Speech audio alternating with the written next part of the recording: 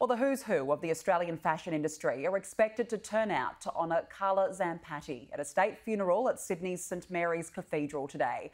The 78 year old died earlier this month after suffering complications from a fall at the opera at Mrs Macquarie's Point.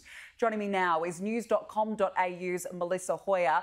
Melissa, thank you for joining me uh, this morning. Firstly, can you tell us just how important Carla Zampatti was in the fashion world? I think when, when you look at Australian designers, she really, I mean, apart from being in the industry for over 50 years, which is pretty much impossible in the industry, but she certainly did that. Um, what, what she did so well was each year she was able to take whatever the trends were and really, really sort of evolve them. I mean, I think with fashion, it is such a fickle thing, as you know, but she constantly just tried and, and succeeded in staying relevant. And I think for a designer who is into her, into her 70s, as we know, for her to maintain that and continually come up time and time again with appropriate and on-trend designs was extraordinary. And of course, her, you know, also her contribution to the arts industry as a whole was extraordinary. She was a great um, supporter of, of, the opera, of the ballet, and she was on the on the board of SBS for quite a while. So she really went across the whole sort of pop culture spectrum, which for a designer to do is, is quite unusual. Yeah, an extraordinary career in all aspects. Why do you think that her designs were so loved by women? Yeah.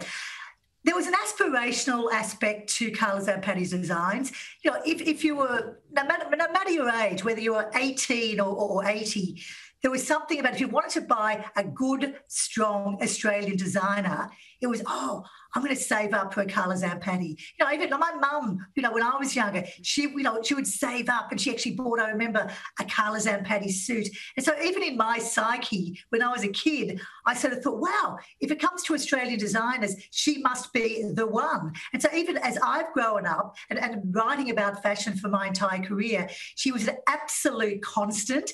And, and no matter your socio, your, your economic status, you still wanted at some stage perhaps to have a, a Carla Zampatti in your wardrobe. Absolutely timeless classics uh, that can uh, withstand the test of time. Uh, Melissa, exactly. what happens now to the brand? Well, uh, for quite a while, Carla had you know, a, a, group of people working with her. There's, the brand, no question, will survive, and and her aesthetic, which you know, as you said, uh, is very it's sort of streamlined, it's classic, but it's still a bit sexy. That aesthetic is already entrenched within the current team who is there at Carla Zampatti. So I think, like it's happened with a lot of European designers, you know, long after the designer has gone, whether it's Gianni Versace or Christian Dior, the the team believe and understand the aesthetic. So it'll continue, no question. And her daughter, Bianca Spender, has her own label as well. It's, it's quite different from Carla's, but but certainly that whole Zampatti feeling will, will, will be around. It will be around for a long time.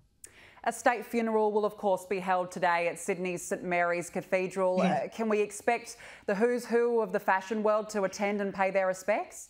Absolutely. I think the who's who of the fashion world and the probably the television world and the, and the celebrity world. You think of, you know, you put on the television and, and at one time or another, most um, hosts you probably worn it yourself, have, have, have put on some Carla Zampatti. So there'll be a lot of a lot of media there, no doubt, but a lot of fashion um, industry and certainly um, a whole lot of uh, TV faces. So it'll be quite a, a who's who. But yeah, again, it'll be it'll be a celebration, but it'll be very sad because uh, the circumstances, of course, of her death were were, were, were tragic and, and so so much too soon.